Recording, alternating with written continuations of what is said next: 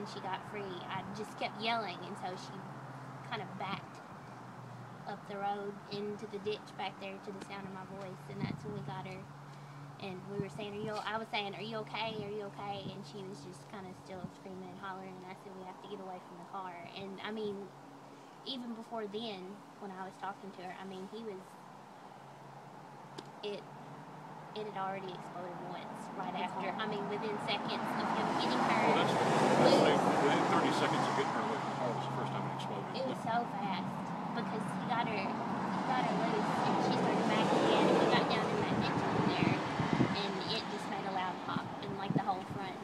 Well, that- especially the interior of the car, just completely engulfed at that point. And, you know, I will never forget, well, there's just, there's so many things about this that will always stick with me for some reason, because I guess that's how it works. You just remember odd little moments. But I know when they first got here, they came from both directions. Fire, I guess sheriff's department. First responders. Right.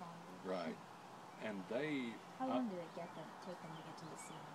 Um, we're not entirely sure because we, I mean, we didn't, we don't know exactly how long it took, but I would say, um, because I remember making the second 911 call, and as I was getting off the phone with the guy, I was walking out the door, he said they could already be here, and so I would say less than 10 minutes if they got here too, but, I mean, it was pretty much, maybe closer to five, but five to ten minutes. It was